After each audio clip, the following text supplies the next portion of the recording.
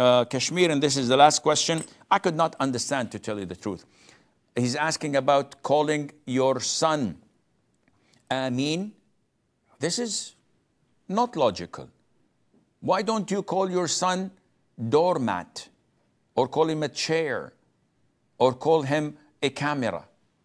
Because everybody would laugh at you.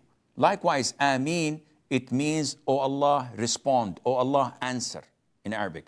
So when I say Amin, where are you? People look at me and laugh. Is this a name?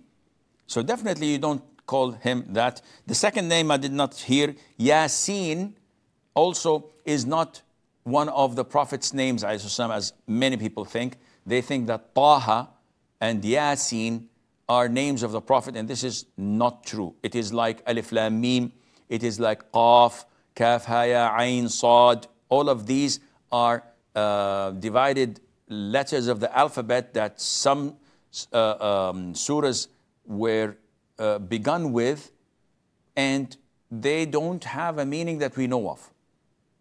But we recite them because Allah revealed them as such. So, is it permissible to call a child Taha or Yaseen? This is not recommended. Would I say it's prohibited? No, I would not say that. It, was uh, it is prohibited, but I wouldn't say that it is recommended. Uh, and Allah Azza wa Jal knows best. This